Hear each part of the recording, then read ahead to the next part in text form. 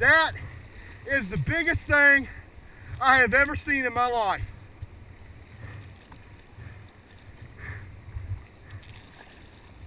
Oh my goodness. Man, there were at least three spots I thought it had me.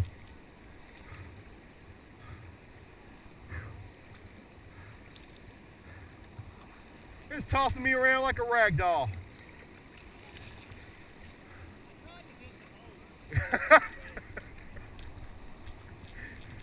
like I said, I'm following your line, Bill.